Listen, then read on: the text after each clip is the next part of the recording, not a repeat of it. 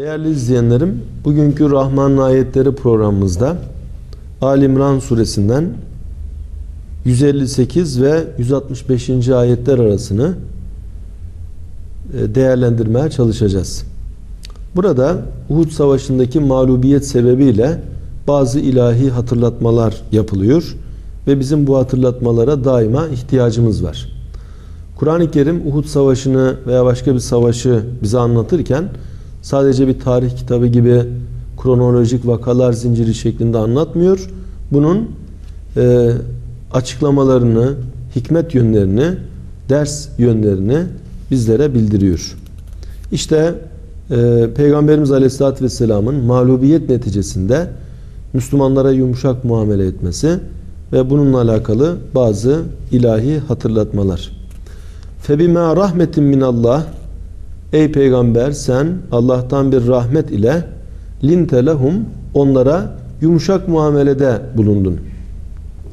وَلَوْ كُنْتَ fazzan galizal galp eğer katı sert kalpli olsaydın lenfaddu min havlik et, e, senin etrafından onlar dağılır giderlerdi. Fa'fu anhum artık sen onları affet ve estağfir lehum onlar için Allah'tan mağfiret iste. Ve şabirhum fil emr yapacağın iş hususunda onlarla meşveret yap. Fe iza azamte ama azmettiğinde fetevekkel alallah Allah'a tevekkül et. İnna Allah yuhibbul mutevekkilin Allah tevekkül edenleri elbette sever. İn yansurkumullah eğer Allah size yardım eder, nusret verirse fela galibe lekum artık size galip gelecek yoktur. Ve in yahzulkum ama sizden yardımını kesecek olursa femen zellezî yansurukum min ba'di Allah'tan başka Allah'tan sonra kim size yardım edebilir? Ee, ve alallahi felyetevekkelil mu'minun müminler sadece ve sadece Allah'a tevekkül etsinler. Ve ma kana li nebiyyin en yagul bir peygamberin devlet malına hıyaneti olur şey değildir. Ve men yağlul kim devlet malını aşırırsa ye'ti bima galle yevmel kıyame kıyamet günü o aşırdığı malla Allah'ın huzuruna gelir.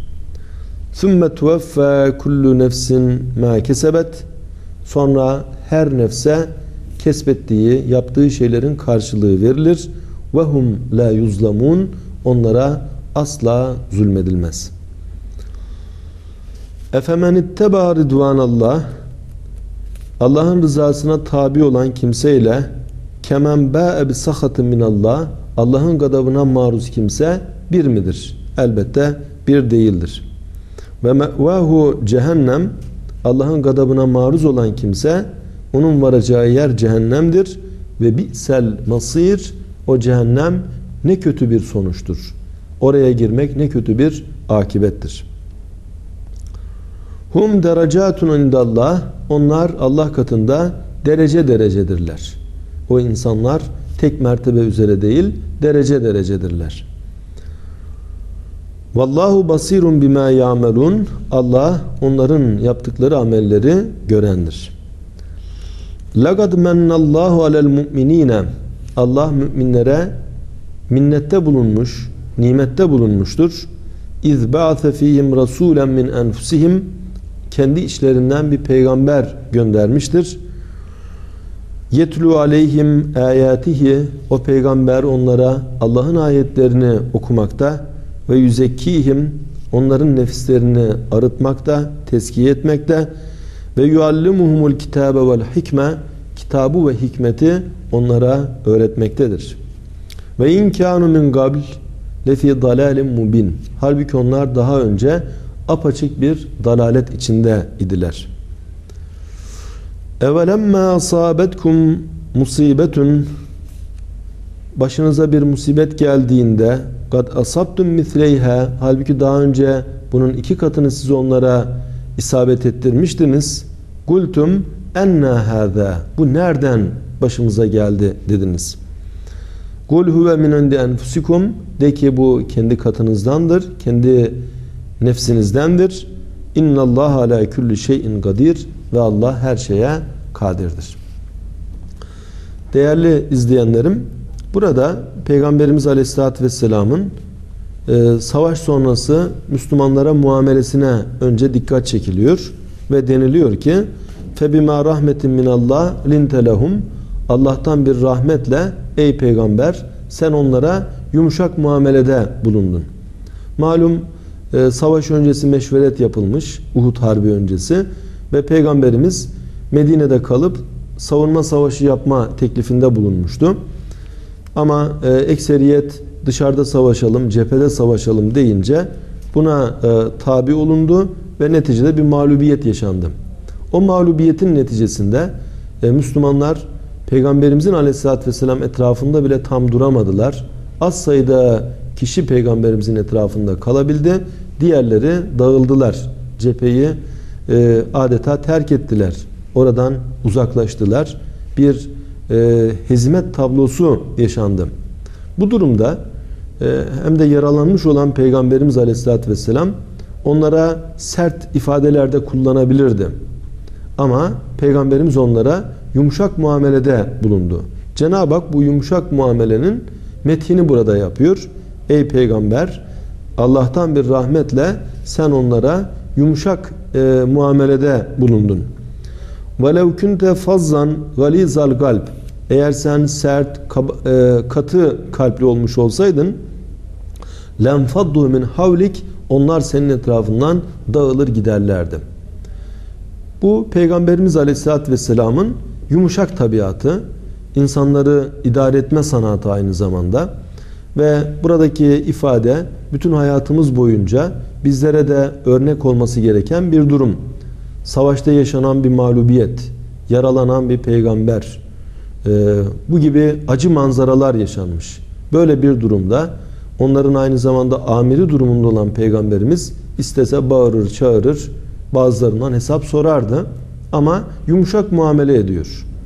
Ve e, bu şekilde muamelesi insanların ona olan bağlılığını daha da artırıyor. Eğer peygamber katı kalpli olsaydı, sert olsaydı onlar onun etrafından dağılır giderlerdi. Ve Cenab-ı Hak peygamberimize şu talimatı veriyor. Fa'fu anhum artık sen onları affet, bağışla ve estağfir lehum onlar için mağfiret talep et. Tabi mağfiret talebi onlarda bir kusurun varlığını da e, ifade eder. E, kusur olmuştur ve cepheden pek çoğu ayrılmıştır. Onlar için peygamberimizin mağfiret talep etmesi nazara veriliyor. Ve şavirhum fil emr ve yapacağın iş hususunda onlarla meşveret yap. Burada esasen peygamberimiz evvelinde meşveret yapmıştır. Uhud Savaşı öncesinde meşveret yapmış ve kendi isteğinin dışında başka bir karar alınmasına rağmen o karara uymuş ve kararı uygulamıştır. Ama bunun neticesi mağlubiyet olmuştur. Ve mağlubiyet olunca Peygamberimiz e, bakın sizin dediğinizi yaptık böyle oldu. Artık bundan sonra size danışmadan iş yapacağım diyebilirdi. Ama e, dememiştir. Ve Cenab-ı Hak da bu noktada zaten hatırlatmada bulunmakta. Onlarla yapacağın iş hususunda meşveret et. Yani danış. Şöyle yapalım mı, böyle yapalım mı? Danış diye bildirmektedir. Şüphesiz Allahu Teala dilese peygamberimize doğrudan her şeyi bildirir. Ama yapacağın iş hususunda etrafındakilere danış diye talimat vermesi aynı zamanda bize yol göstermiş oluyor. Yani iyi bir idareci etrafına danışan kimsedir. E, tek başına kararlar alan, tek taraflı bu kararları uygulayan kimse ideal bir idareci olamaz. Peygamberimiz Aleyhisselatü Vesselam Resul'dür, Allah'ın elçisidir. Ama aynı zamanda bir insandır. İçimizden bir peygamberdir. Bize bu gibi e, özel e, mesajlarla, durumlarla e, rehberlik yapmakta ve ne şekilde hareket edeceğimizi bize bildirmekte. Fe ize azamte fetevekkel alallah. Ama meşveret yapılıp bir şeye karar verildiğinde artık Allah'a tevekkül et. Ve orada da bir kararlılık göstermek. Karar alınmışsa kararın ardında durmak ve onu uygulamak gerekiyor. İnna Allaha yuhibbul mutevekkilin. Allah tevekkül edenleri sever. Değerli izleyenlerim, tevekkül sebeplere yapıştıktan sonra sonucu Allah'tan bilmek, sonucu Allah'a bırakmak, Allah'ı vekil yapmak anlamında. Yoksa sebeplere hiç sarılmadan eh biz Allah'a tevekkül ettik, o nasıl dilerse öyle olur. Bu yanlış bir tevekkül anlayışı olur. Tembelcesine bir tevekkül anlayışı olur. Ve sahabelerden bir tanesi mesela Peygamber Efendimiz'e soruyor. Ya Resulallah ben devemi bağlayıp mı Allah'a tevekkül edeyim yoksa bağlamadan mı tevekkül edeyim? Peygamber Efendimiz sen diyor önce deveni sağlam bir şekilde bağla ardından Allah'a tevekkül et. Demek ki tevekkül sebepleri bütün bütün terk etmek değil. Sebepleri bileceğiz. Sebeplere müracaat edeceğiz ama neticeyi Allah'tan e, bileceğiz. İn yansurkumullah eğer Allah size yardım ederse fela galibe lekum size galip gelecek yoktur. Allah'ın yardımını celbetmek, Allah'ın yardımına mazhar olmak bu çok güzel bir durum. İşte Allah size yardım edecek olursa e, size galip gelecek yoktur. Ve in yahzulkum ama yardımını sizden çekecek olursa femen zellezî yansurukum min ba'di Allah'ın yardımı e, olmadıktan sonra size kim yardım edebilir? Yani Allah bir şeyin olmasını dilemişse o şey dilediği şekilde olur. Ama Allah dilememişse bütün dünya o insanın veya insanların yardımcısı olsa beş para kıymeti olmaz. Netice elde edilmez. Ve alallahi felyetevekkelil mu'minun ve müminler, inananlar sadece ve sadece Allah'a tevekkül etsinler. Yani sebeplere e, hakiki tesir vermesinler. İşte biz şu sebeplere müracaat ettik, o halde netice alırız demesinler. Neticeleri, sonuçları Allah'tan beklesinler. Ve ma kana li nebiyyin en yagul. Hiçbir peygamber için devlet malını aşırmak söz konusu olamaz. Burada şöyle bir e, durumu e, nazara vererek bunu anlatmak istiyorum. E, okçuların e, cepheden ayrılma durumu, macerası daha önce dikkat çekilmişti buna. E, şuradan kaynaklanmış. Okçular bakıyorlar ki Uhud Harbi'nde e, Müslümanlar net bir galibiyet elde etti. Peygamberimizin onlara talimatı olmasına rağmen sakın burayı terk etmeyin talimatı olmasına rağmen artık savaş bitmiştir. E, artık herkes ganimetten ne elde ederse kendine ait olabilir. Belki de e, bu gibi bir durum olur e, ihtimaliyle onlar e, cepheyi terk ediyorlar. Görev yerlerini terk ediyorlar ve Peygamberimizin sanki ganimetlere el koyması ve onlara bir şey düşmemesi gibi bazılarının hatırına böyle şeyler geliyor. Ayet-i kerime bu gibi suizanlara bir cevap niteliğinde hiçbir peygamber için devlet malını, ganimeti aşırmak diye bir şey söz konusu olamaz. Ve men yavrul kim bu şekilde devlet malından aşıracak olursa yeti bima galle yevmel kıyame kıyamet günü o aşırdığı şeyle Allah'ın huzuruna gelir. Bu günümüzde çok ciddi bir problem. Devlet malını aşıran aşırana, devletin malı deniz deyip e, götüren götürene, hortumlayan hortumlayana ama e, bırakın peygamberi samimi bir müminin bile hayalinden geçmeyecek bir durum. Ve halkımız arasında denilir ki devlet malında e, tüyü bitmemiş yetimin hakkı vardır. Bir insan diyelim bir başkasının hukukuna tecavüzü olduğunda bir kişiye karşı e, hesap verecek. Ama devlet malı milli servet durumundadır. Bütün o ülkede yaşayanların onda e, hakkı vardır, emeği vardır. Böyle olunca devlet malından velev bir iğne olsun, bir toplu iğne olsun e, böyle kaçırmak, araklamak, bunu zimmetine geçirmek çok büyük bir vebaldir. Kim devlet malından bu şekilde en ufak bir şeyi aşırmışsa kıyamet günü, hesap günü e, Cenab-ı Hakk'ın huzuruna onunla gelecektir. Ve bir, bir iğne bile almışsa o iğne ona batacaktır. Ve e, servet almışsa o servet onu orada yakacaktır. Ve bir takım çıkarlar elde etmişse haksız bir şekilde o çıkarlar orada vebal olarak e, onun karşısına çıkacaktır. Bu gerçekten dinin e, müntesiplerine vermiş olduğu e, şuurlardan bir tanesidir. Yani e, hak dinin mensubu olan bir kimse devlet malını e, hiçbir zaman için suistimal etmez. Devlet malını aşırmaz ve samimi dindarlardan hortumcu tarzında şeyler çıkmaz. Onlar bırakın devlet malından almayı, e, devlete yardım etmeyi, e, o milli serveti takviye etmeyi görev telakki ederler. Ve zaten dikkat edilecek olursa günümüzde de devlet malını aşıran kimselere bakıldığında bunların dini terbiyeden uzak, dinden pek nasibini almamış kimseler olduğu genelde görülmektedir. Samimi bir dindarın bu gibi suistimale girmesi söz konusu olamaz. Ayet-i kerime peygamberin şahsında bunu nazara veriyor. Hiçbir peygamber için devlet malını aşırmak diye bir şey söz konusu olamaz. Olur şey değildir.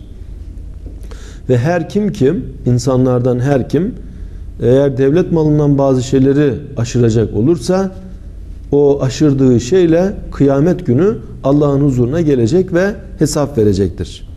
Sümme tuveffa kullu nefs ma kesebet sonra her nefis neyi kesbetmişse neyi e, yapmışsa bunun karşılığını görecektir. Ve hum la yuzlamun ve onlara asla zulmedilmeyecektir.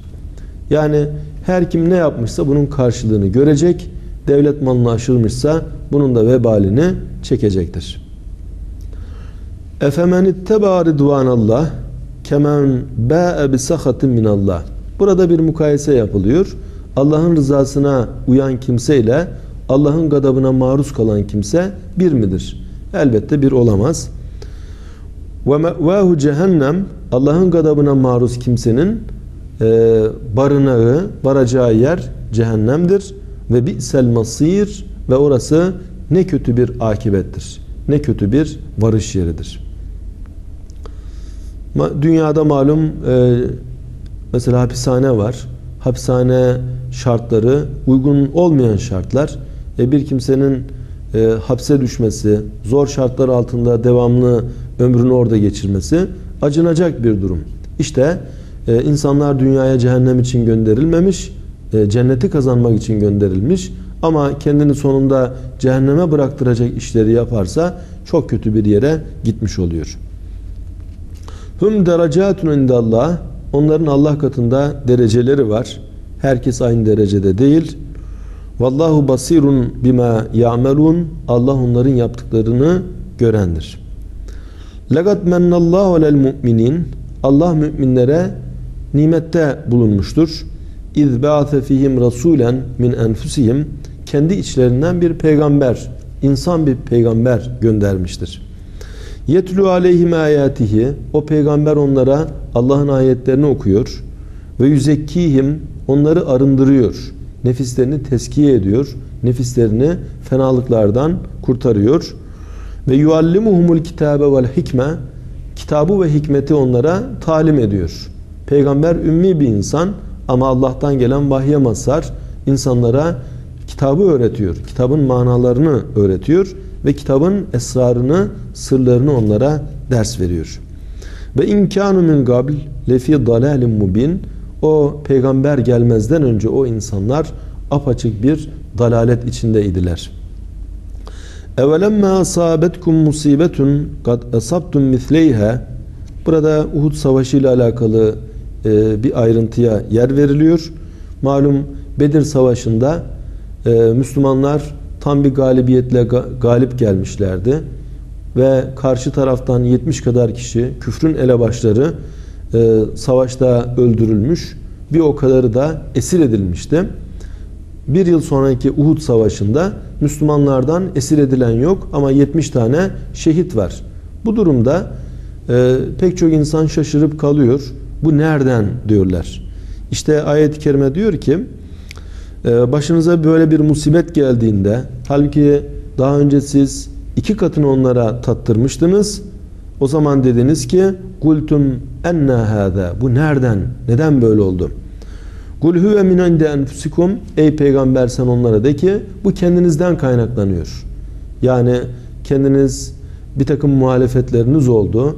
Peygamberin dediğini tutmadınız. Bunun neticesinde böyle bir neticeyle karşılaştınız. İnna Allah ala kulli şeyin kadir. Allah her şeye kadirdir. Yani Allah sayınız az da olsa size malu, e, galibiyet de verir. Sayınız böyle fazla da olsa mağlubiyet de verir. Allah ona da kadirdir. Buna da kadirdir. Bir başka programımızda tekrar beraber olmak ümidiyle hepinize hayırlı günler.